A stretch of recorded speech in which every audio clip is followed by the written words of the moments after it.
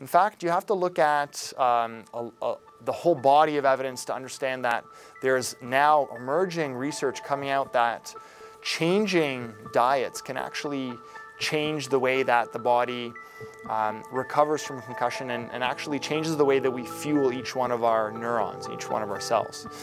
Um, so what diet can do is that it can A, reduce the influx of pro-inflammatory or, or, or molecules that increase inflammation in the body. And hence in the brain. So things like, for example, um, saturated fats, uh, certain food allergens like gluten can cause an inflammatory reaction in the body. So that's the first thing. So help remove some of the more inflammatory foods, right?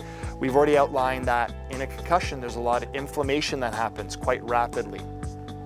Secondly, we want to introduce foods that are higher in antioxidants. One of the big processes that are happen is, um, is oxidative damage, which damages neurons after concussion. So we need to increase antioxidants in the, in, in the, in the diet. So those are things like fruits, vegetables, uh, molecules that are found in these plants that have a very anti-inflammatory, antioxidant effect.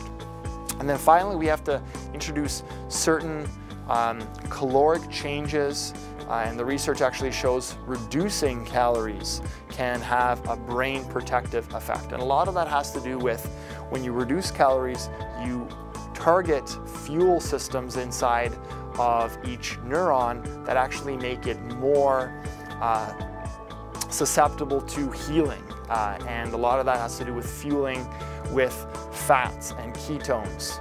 Uh, for example, coconut oil is a source of medium chain triglycerides, which is a type of fat that actually can have a beneficial effect on fueling neurons.